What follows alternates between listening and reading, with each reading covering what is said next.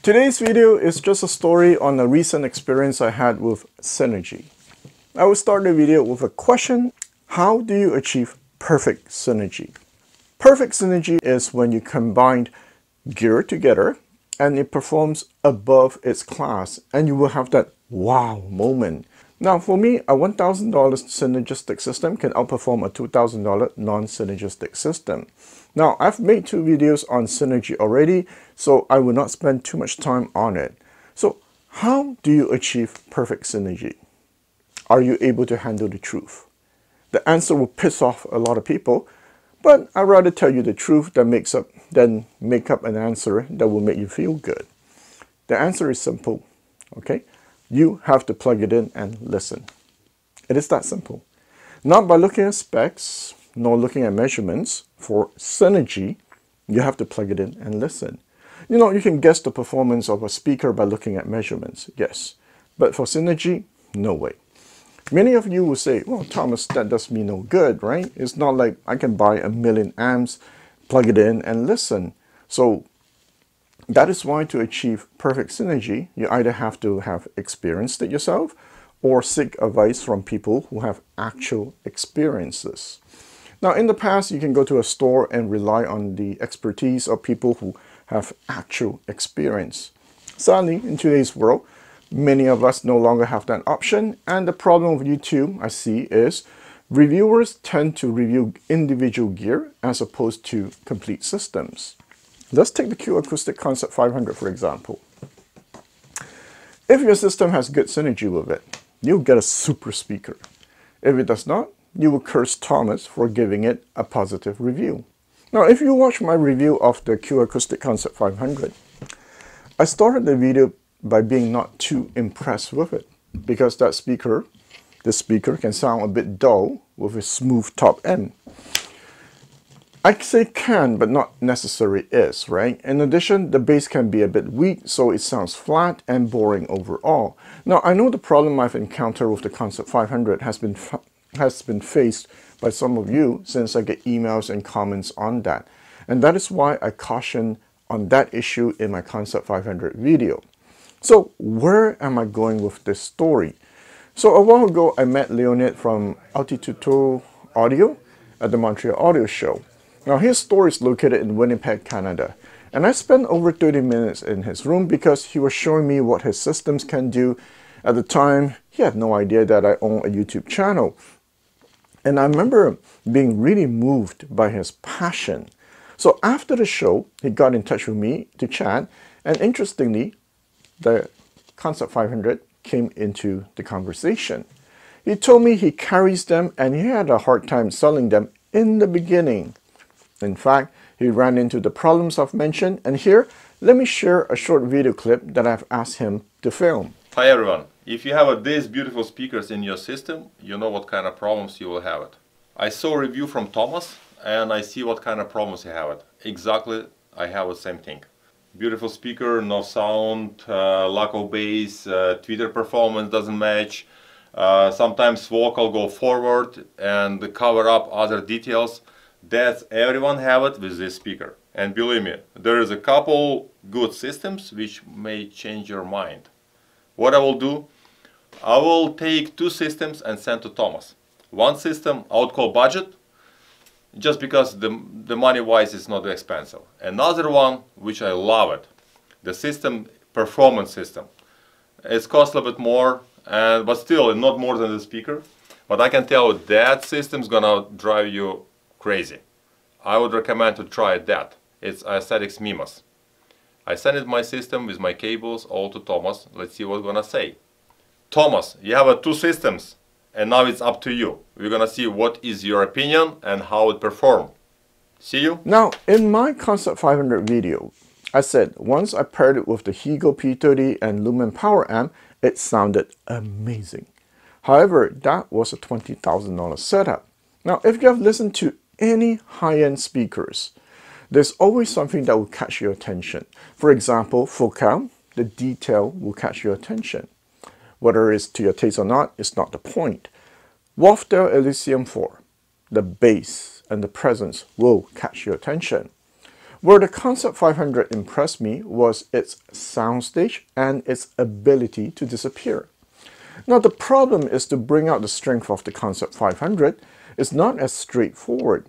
Focal, plug any amp in and you will get a detailed sparkling top end. Concept 500 you cannot. Just plug any amp to it and get that wow soundstage. Now back to Leonid.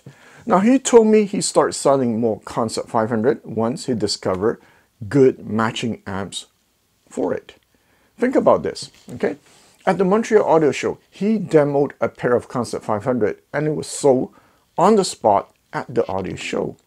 He felt he got amazing synergy with the Concept 500. So Leonid told me, Thomas, let me send you three systems that will sound really good with the Concept 500. Okay, so Leonid sent me three amplifiers for from two different price bracket, budget and expensive. He even sent me all the cables to go with the system for perfect matching. First, the $477 Canadian dollars, 25 watt Class D amp from Tri-Art. Man, I laughed when I saw it. And Leonid said everyone had the same reaction until they listened to it. Next was the $1,200 Canadian dollars Class D 35 watt amp from Tri-Art also. 35 watt? Really? Do you know how many Class D 200 watts amp I've at my home? Interestingly, on the on top of the stock power supply that he sent me, he also sent me these upgraded power supplies that has tubes in it. Finally, the $9,700 Canadian dollars uh, Aesthetix Mimas amp. So these three amps, did they have good synergy with the Concept 500? So let's talk about it today.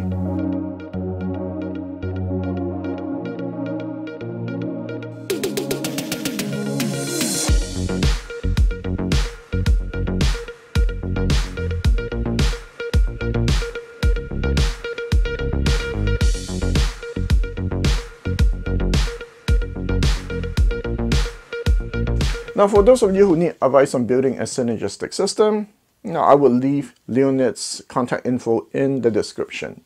We spent time talking on the phone and I noticed that his approach to audio is by looking at it as a system as opposed to individual gear. He also told me that one of his listening room, the acoustics, is no good.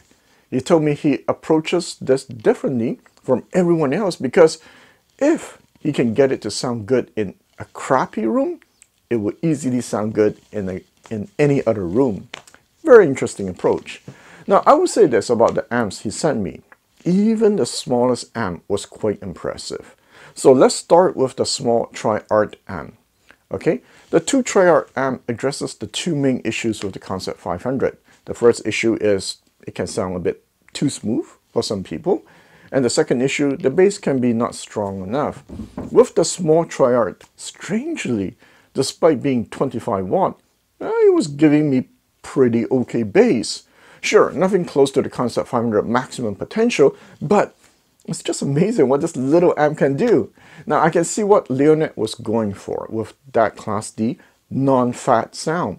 There's enough clarity to make the Concept 500 sound a bit lively.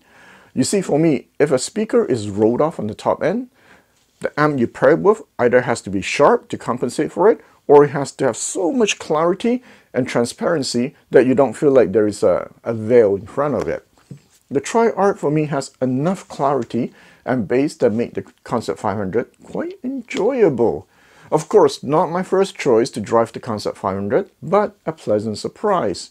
The external power supply with the tubes eh, does make the sound better, but it costs just as much, if not more than the amp. The second bigger Tri-Art amp does bring the performance to the next level. I was like, man, this sounds just as good as other amps I've tried that cost more. If the synergy is good, as I said, this is what I meant, it will perform above its price bracket.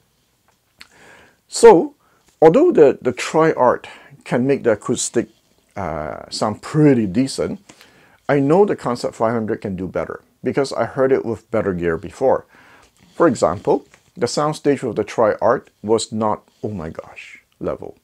Now with the Aesthetix Mimas, that was a different story. Now you have a wide soundstage, amazing bass, and superb clarity to the point I can hear the speakers sparkle. here's the interesting part. When I use the cables they send me, they give me specific instructions, right? Like you have to bi-wire the cables, for example. Anyway, I noticed that I hear things like ding, ding, ding, ding, ding better. Although it does not sparkle like a Focal, there was clearly more refinement and clarity, and that took me by surprise. The soundstage was just great. Another interesting part I noticed, when I put my cables in, the top end is not as sparkling, but I gained a bigger and more solid soundstage. And it had more presence, to the point I was like, oh my gosh, this is amazing. A question of taste, which presentation do you prefer? I personally prefer my own cables because I remember having a more like wow reaction. The last time I got a wow reaction with the Concept 500 was with the $20,000 Hegel P30 and Lumin amp setup. That Hegel Lumin amp setup, yeah, is still slightly more impressive because the soundstage was even better. So, by the way, I've made a video on my Galion channel sharing my experience with the Galion TS122 and with the Concept 500. Now, please check it out and I will link it in the first description. Now, the thing with the retail store is they have the opportunity to mix and match and no amount of logic can be substituted for experience. The Mimas M would never cross my mind that it will be a good match with the Q Acoustic just by reading the specifications. Only actual experience can tell me if it is if it has good synergy or not. Think about it. They were able to sell a pair of Concept 500 at the audio show because it sounded so good with it. By the way, I did ask my friends to try the Mimas amp on their higher end speakers too with very good result. I was even comparing it to the Hegel 590 and I would say the Mimas with its tube front end for some people, yeah, would be just as enjoyable as the Hegel 590. The Hegel 590 is a precision machine, man. It does everything perfect, too perfect. And that can be either a good thing or bad thing depending on your taste. Now, please leave a comment. Do you believe in synergy? What was your best sounding system regardless of price? Please, please list out everything down to the cable if possible. So, this was fun for me to try. I've been asked by many people what is a good amp to go with the Concept 500. Now, if you can go edition a Mimas amp, go check it out. I also get a lot of emails asking for private consultation and I try my best to answer whenever I have time. However, guys, be smart and reach out to Leonid instead because he definitely has access to more gear than me and has more experience in gear matching. I will finish the video with a story. So one of Leonid's customer bought the Concept 500 and he drove the Concept 500 with many popular brand amplifiers, you know, the amps that you know. And eventually he gave up on the Q Acoustic 500, Concept 500, and sold it. Now I remember he left a comment for me saying it was a great speaker, but for him, he found it slightly dull, so it was not for him. One day, Leonid invited him to go listen to the Mimas amplifier with the Concept 500 because Leonid knew the customer bought the Concept 500 before and Leonid could not believe the synergy was so good with the Concept 500, right, the Mimas, that he had to invite this owner again to make sure that he was not crazy. Guess what happened? The customer bought the Concept 500 again. That is how incredible synergy can be. And that's the reason why I spend so much time gear matching when I review gear. And that is why it takes forever for me to make a video. For the Apertura Edena Evo speaker, I tried 7 amps. And that speaker, man, do I have a good story to tell you. Alright guys, with that, I will see you next time.